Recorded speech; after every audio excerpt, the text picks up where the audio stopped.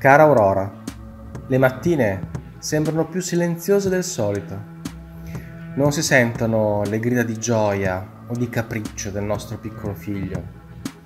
È tutto troppo calmo e triste. Quando ci avvisarono che i venti del conflitto si facevano più violenti, nei nostri cuori iniziò a vacillare la speranza in un futuro più sereno. E quel futuro, cara Aurora, sono i nostri figli più piccoli, i figli di Monsanto. Io, non solo in qualità di sindaco, ero preoccupato per la situazione.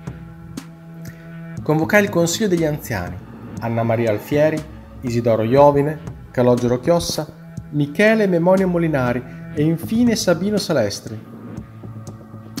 Dopo una discussione infinita, il consiglio arrivò a una soluzione. Allontanare i bambini dal pericolo della guerra vicina. Ma dove? Per prendere un provvedimento di tale portata vennero chiamati anche gli altri due capofamiglia, Celestino Chiossa e Martino Molinari. Celestino avvisò tutti di essere a conoscenza di un accordo che Vinacciolo strinse con la capitale. I loro bambini sono stati inviati presso la grande città e tutto il piccolo paese si è impegnato a pagare la retta per il mantenimento dei bambini. Se tale pagamento non verrà rispettato, tutti i piccoli figli di Vinacciolo verranno affidati a famiglie della capitale.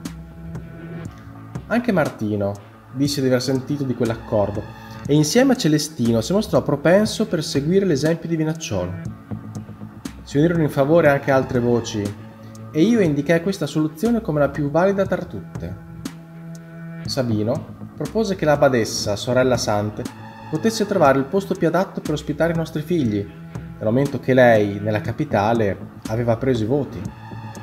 Spuntò fuori il convento Maria Consolatrice, gestito dalla Madre Superiore Aurilia. La decisione quindi venne presa.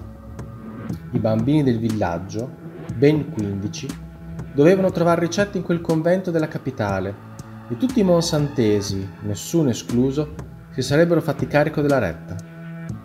Strinse un accordo con un messo della capitale e con Celestino Chiossa, come rappresentante di tutti i capofamiglia. 50 monete all'anno per ogni pargolo Fu questo il prezzo pattuito. Inutile dirti come questa scelta venne presa dai vari genitori. Molti di loro si arrabbiarono moltissimo, specialmente con Celestino. Indovina chi ha più figli inviati nella capitale? Ma Celestino, che nel convento ne ha spediti ben cinque. Inoltre è stato esonerato dal partire per la guerra, poiché in totale ha sei discendenti, a causa di una legge che prevede che chi ha almeno sei figli non debba partecipare al conflitto. Quel Chiossa da allora si è tirato l'antipatia, se non addirittura l'odio di molti concittadini che lo ritengono ancora oggi un vigliacco opportunista. Ad ogni modo, tutti i monsantesi si stanno impegnando con solerzia affinché quella tassa venga pagata. Nessuno desidera perdere il proprio pargolo affidandola a chissà chi. Il nostro villaggio deve avere un futuro, senza perdere le sue radici. Ed è per questo che prima della partenza per la guerra ogni genitore appenderà un sacchetto con un bottone appartenuto ai propri figli in un luogo chiamato il riparo dei ricordi. Così loro saranno per sempre con noi. Sì, amore mio, domani appenderemo anche noi quel sacchetto. Prima che io vada a svolgere il mio dovere, prima che io mi allontano per difendervi tutti. Per sempre tuo, Alberico Alfieri.